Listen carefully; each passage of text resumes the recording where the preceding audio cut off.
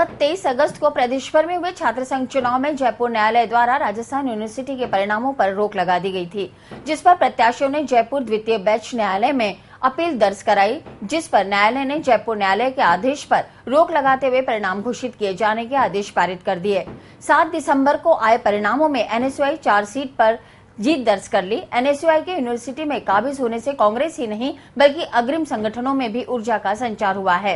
अजमेर में एनएसयूआई के कार्यकर्ताओं ने प्रदेश के सबसे बड़ी राजस्थान यूनिवर्सिटी में एनएसयूआई की शानदार जीत का जश्न मनाया। राजस्थान में सबसे बड़ा विश्वविद्यालय, राजस्थान विश्वविद्यालय, उसके अंदर किसी कारणवश जो चुनाव के परिणाम को रोक दिया गया था, जिसमें जो राजस्थान विश्वविद्यालय के जो जो वो थे, हमारे जो एनएसयूआई के प्रत्याशी है, उन्होंने अपनी कोशिश जो आज जो परिणाम घोषित हुआ है एनएसयूआई का उसमें एनएसयूआई की चारों ही सीटों पर एनएसयूआई की ऐतिहासिक जीत हुई है राजस्थान विश्वविद्यालय के अंदर। शहर के बीच गांधी भवन चौराहे पर कार्यकर्ताओं ने जमकर आतिशबाजी की। जश्न मना रहे छात्रों का कहना है कि राजस्थान यूनिवर्सिटी छात्र संघ का परिणाम वसुंधरा राज्य सरकार के लिए सबक है। कार्यकर्ताओं का कहना है कि परिणामों ने स्पष्ट कर दिया है कि प्रदेश में युवा कांग्रेस के साथ है।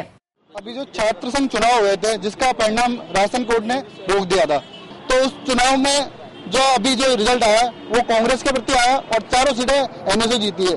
क्या? तो इससे ये संगठन मज़बूत उठा कि बोले जो युवा है, वो कांग्रेस के साथ है, न कि वसुंधरा बीजेपी की सरकार है। क्या? आज ये हमने ये किया है कि बोले, आज जो ऐतिहासिक जीत हुई है, उसमें हमने ये फुलझड़ी फुहारे जला के हमारे छात्र संघ की जो जीत है, वो दर्ज कराई है। भारतीय जनता पार्टी की प्रदेश में सरकार को 13 दिसंबर को एक साल हो जाएगा। इस अवसर पर जयपुर में 13 दिसंबर को अमरूदों के बाग में सुबह 11 बजे से एक विशाल कार्यकर्ता सम्मेलन आयोजित होगा, जिसमें पूरे प्रदेश भर से भाजपाई पदाधिकारी और कार्यकर्ताओं की भागीदारी सुनिश्चित करने के लिए रविवार को बैठकों का आयोजन किया गया। अजमेर में शहर भाजपा के चारों मंडलों की बैठक रखी गई। आदर्श मंडल की बैठक दोपहर में होटल दाता इन में शहर अध्यक्ष अरविंद यादव की सदारत में रखी गई। वहीं आर्य मंडल की बैठक गोविंद नगर साकेत नगर सुमन वाटिका में संपन्न हुई। बैठक में तय किया गया कि 13 दिसंबर को अजमेर से बसेस और निजी वाहनों के ज़रिए बूथ स्तरीय समितियों, जनप्रतिनिधि, मोर्चा और प्रकोष्ठों के कार्यकर्ता और पदाधिकारी जयपुर में होने वाले कार्यकर्ता सम्मेलन में शामिल होंगे। भारतीय जनता पार्टी की सरकार को एक साल का कार्यकाल पूरा हो जाएगा और इस अवसर पर जयपुर के अंदर जनपथ पर अमरूदों के बाग में सुबह 11 बजे एक विशाल सभा का आयोजन किया गया है। इस समारोह के अंदर भी अजमेर शहर से अधिकतम संख्या के अंदर सब मिलकर उस कार्यक्रम के अंदर भाग लेने के लिए जाए। इसकी व्यवस्थित रचना करने के लिए हमने शहर के चारों मंडलों की बैठक निश्चित की थी। उसी क्रम में आज आदर्श मंडल की बैठक यहाँ पर हो रही है और उसमें हम ये सब कार्यक्रम तय कर रहे हैं। आगामी 13 दिसंबर को वसुंधरा सरकार के एक वर्ष पूरा होने पर जयपुर में आयोजित होने वाले कार्यकर्ता सम्मेलन को लेकर पुष्कर भाजपाइयों ने भी कमर कस ली है। रविवार को स्थानीय मारी धर्मशाला में पुष्कर के भाजपाइयों की एक बैठक आयोजित की गई। बैठक को देहा जिलाध्यक्ष बीपी सारस्वत, विधायक सुरेश सिंह रावत और पालिका अध्यक्ष कमल पाठक ने संबोधित किया।